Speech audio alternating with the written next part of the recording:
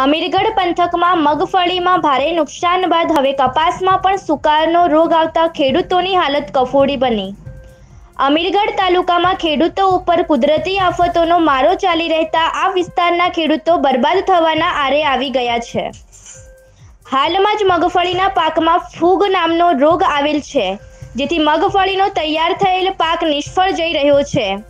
જેની મારથી ખેડૂતો હજુ ઉભર્યા નથી અને કપાસના પાકમાં પણ સુકાર નામનો રોગ આવી ગયેલ છે. અને આ રોગ કપાસની કેરી એકદમ કાળી પડી જાય છે. કપાસના પત્તા સુકાવા લાગે છે પછી આખું છોડ કરમાઈ જાય છે.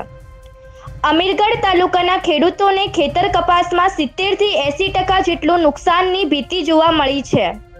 જેથી અમીરગઢ પંથકનો ખેડૂત બિલકુલ પાયમાલ થવાના આરે છે.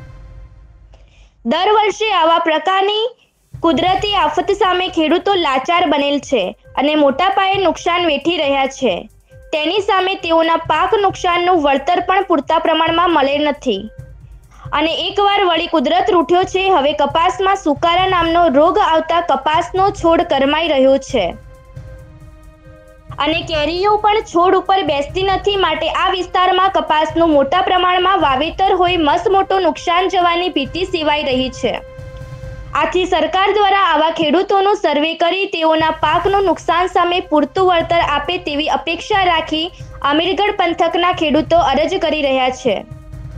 રિપોર્ટર કેતન પટેલ, અમીરગઢ. કેટલા એકરમાં કપાસ વાવ્યો હતો અને કેટલો ખર્ચો કર્યો હતો? કેટલું નુકસાન છે અત્યારે? અમે કમસે કમ દસ એકરની અંદર કપાસ વાવ્યો હતો જેનું અમને દસ એકર એટલે પંદરથી સોળ વીઘા જેવું થાય. કે સોળ વીઘાની અંદર અમે કપાસ વાવ્યો હતો અને અમારે વીઘે ત્રણ હજાર રૂપિયા, ત્રણથી પાંત્રીસ પાંત્રીસો રૂપિયા ખર્ચો છે, જે અમને વીઘા પ્રમાણે નુકસાન છે અને અત્યારે ટોટલ એંસી ટકા ખેડૂતોને કપાસની અંદર નુકસાન થયેલ છે. કયો રોગ કહી શકાય કે જેથી હાલ આખો હવે ખેતર આ નષ્ટ છે? આગતરો પાછતરો સુકારો નામનો રોગ છે જે દર સાલ આવતો નથી પણ આ સાલે થોડો પાછતરો સુકારો છે એટલે પાછળનો જે ડેડા અને માલ હોય એ ડેડવાની અંદર ને માલની અંદર ઊભા ઊભા છોડવાની અંદર સુકાઈ ગયા છે અને એ સુકારાના કારણે ખેડૂતોને મોટે પાયે નુકસાન થયેલ છે. નામ બોલો. પટેલ મુકેશ કુમાર છગનભાઈ શિવપુરા ફાર્મ મારું નામ દેવાભાઈ પ્રજાપતિ છે. લક્ષ્મીપુરા ગામનો વતની છું. અમીરગઢ તાલુકો છે. દસ પંદર વીઘાની અંદર કપાસનું આ વખતે મેં વાવેતર કરેલું. કપાસનો બિક- બિલકુલ ગ્રોથ સારો હતો. ઓછા વરસાદ અને ઝરમર ઝરમર વરસાદના લીધે કપાસની અંદર નિષ્ફળ થયો છે કપાસ. માન લો કે એંસી ટકા કપાસ જેટલો કપાસ મારો જતો રહ્યો છે વીસેક ટકા કપાસ બચે છે. એ કપાસ બચવા એ જે બચેલો કપાસની અંદર મારા ખર્ચા વળે જેમ નથી.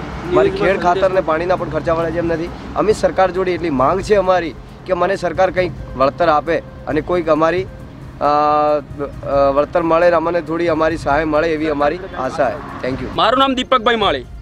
હું લક્ષ્મીપુરા ગામની અંદર રહું છું, તાલુકો અમીરગઢ. મારી જોડે દસથી પંદર એકરની અંદર કપાસ વાયેલું હતું. કપાસની અંદર સો ટકા ગ્રોથ હોવાના હતું. સતત વરસાદના કારણે એંસી ટકા નિષ્ફળ છે અને વીસેક ટકા બચત છે. સરકાર જોડે અમારા ખેડૂતોને કઈ રીતે લાઇટ બિલ ચૂકવવું, પાણી બિલ ચૂકવવું, એ સરકારને અમે થોડી માંગ કરીએ છીએ. કે અમને કાંઈક સહાય આપે.